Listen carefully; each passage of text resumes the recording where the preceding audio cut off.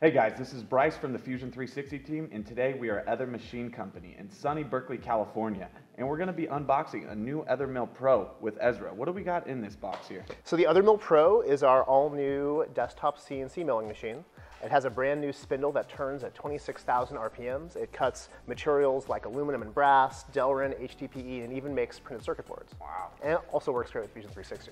That's awesome. I'm glad about the Fusion 360 part. We're going to go ahead, let's go ahead and start unboxing this, see what's in it. Great. All right, let's see what we got inside. Of course, the trusty paper manual. You want to read all the details of that, please. The next thing is most important, Autodesk Fusion 360. And then another box with the uh, Othermill accessory kit. Uh, we got an Othermill toolkit. So this has all the tools that you need to assemble and use the Othermill. We got a ER11 eighth inch spring collet this is a, a collet that will hold your bit, hold your milling tool as you're milling. Really, really key part. Uh, comes with two milling tools. So these are end mills. They're like little drill bits, basically, um, that are used in a CNC mill like the Othermills. Take out the Othermill Pro. Uh, the Othermill comes with four safety windows, and they come with a protective film, and so I'm going to just quickly keep all the chips right inside. Yeah, keep all the chips inside and keep your hands out while it's uh, while it's operating. Thanks for plugging that in. I'm going to first plug in the power cable to the back of the Othermill. It has a really satisfying snap. Turn on the power switch. Ooh. Okay, now let's plug in the uh, USB cable. So I'm going to stick one end in the back of the Othermill, and would you stick this one into the laptop? Of course.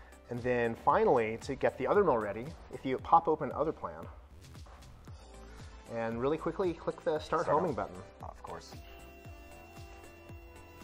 So the Othermill's axes are going to all retract to their home position. Gives us a little bit more space to work first. So today, we're going to be milling a bit fan. This is a small uh, fan that can go on the end of a milling tool, like one of these. And what it does is it blows all the chips out of the way. It helps improve tool life and lets you mill a little bit faster. And it was designed in Fusion 360. Perfect. And uh, we have it open in Fusion 360 right now. So let's go take a look at it. So we can go ahead and see that it's designed in CAD already. And uh, Ezra, you threw some tool paths on this already, I believe. That's right. Perfect. So let's just go ahead and select the different tool paths that we want to include in that post. And send, save this right on my desktop and open this up in Otherplan. There we go. Cool, so the next thing we need to do is to set up our material. Therefore, uh, size, expand that, and then for Z, type in 0.249, and then for width and height, we can say 4 by 4 Cool. So we just have to tell Otherplan that we want to use the 1 16th inch flat end mill for this part. Mm -hmm. And you can see on the screen that the 3D preview updates. And uh, now we're ready to mill. Hit it.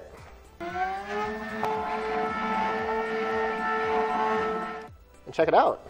Oh, wow. There's our bit fan. Man, in a few minutes we were able to mill out this high precision part using the Othermill Pro and Autodesk Fusion 360 in Otherplan. That was awesome. Thanks. Uh, thanks so much for coming by today. And if you want to learn more about the Othermill Pro, check us out at othermachine.co.